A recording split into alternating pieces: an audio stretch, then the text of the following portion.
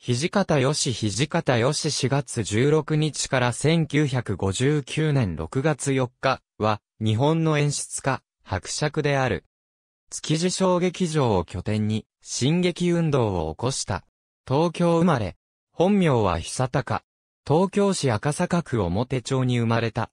祖父久本は、土佐藩出身で、維新後は、区内大臣、宮中顧問官、枢密顧問官、国学院大学学長などを務めて、伯爵を授けられた。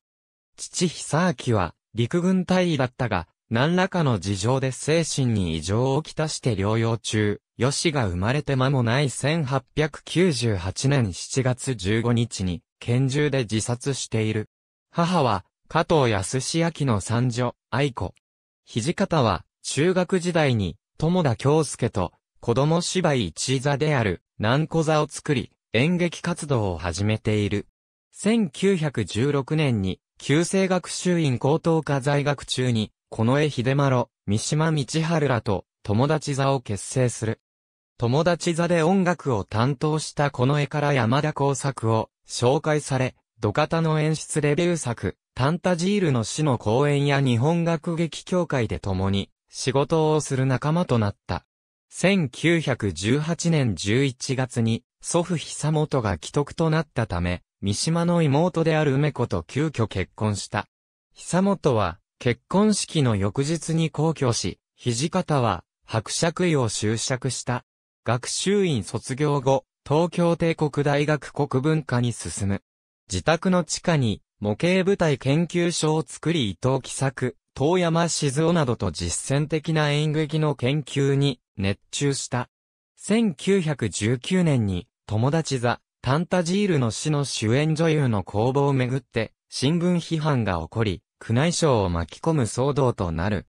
東京帝大卒業後は山田工作の紹介で演出家、幼い薫に指示し、幼いの助手として商業演劇に関わり明治座などで舞台演出を学んだ。1922年、演劇研究のため、ドイツに留学。1923年9月の関東大震災の法を聞いた土方は、予定より早く同年暮れに帰国。震災復興のため一時的に建築規制が緩められたことから、仮設バラック劇場の建設を思いつき、幼い薫に相談し、計画を進めた。1924年初めより、劇場建設と劇団の育成に取り掛かり、6月13日に築地小劇場を開設した。電気を用いた世界初の照明室を備えていた。建設のため土方が出資した費用は、後の諸出費も合わせると三十数万円と言われる。築地小劇場は、チェーホフやゴーリキーなどの翻訳劇を中心に、新劇運動の拠点となった。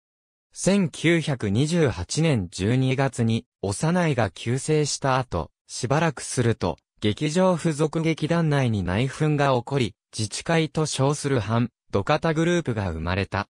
このため、1929年3月25日には、土方を支持する、丸山貞夫、山本康江、鈴木田健二、伊藤光一、高橋東横、細川智歌子らが脱退し、築地小劇場は分裂した。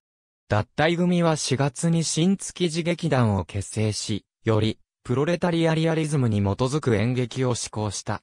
残留組は、翌1930年8月に解散し、劇団新東京になった。新築地劇団は、プロレタリア文学の代表作である、小林滝樹の、カニ光線を、北緯50度以北という題で、同年7月に、帝国劇場で上演した。以降、久板英二郎の北東の風や久保久志の火山灰地など、盛んにプロレタリア演劇を上演していった。次第に、関係の弾圧が激しくなり、1932年に、土方は、検挙を受けた。翌1933年2月20日、小林滝次は、治安維持法違反容疑で逮捕、築地警察署において、特別高等警察による拷問で死亡。3月15日には、築地小劇場で滝地の労農葬が取り行われた。日本プロレタリア演劇同盟の代表として、妻、梅子や佐野博と共に、ソ連を訪問。ソビエト連邦サッカー同盟第1回大会で、日本代表として、小林滝自虐殺や日本の革命運動について、報告を行った。その内容は、間もなく、日本に伝わり、同年9月に爵位を剥奪された。土方は帰国せず、そのままソ連に亡命。1937年8月、スターリンによる粛清が本格化したことで、土方は妻、佐野博士と共に、国外追放処分を受け、モスクワからパリに亡命移住する。この間、日本国内では1940年8月、劇団員のほとんどが検挙され新築地劇団は解散。劇場は11月1日には国民新劇場と解消された。1941年、土方は逮捕覚悟で帰国。直ちに治安維持法違反で検挙され、5年の実刑を受けた。終戦後は、出国し、日本共産党に入党。全身座や舞台芸術学院で演劇活動を再開。スタニスラフスキーのスタニスラフスキーシステムを日本の演劇界に導入することにも熱心であった。ありがとうございます。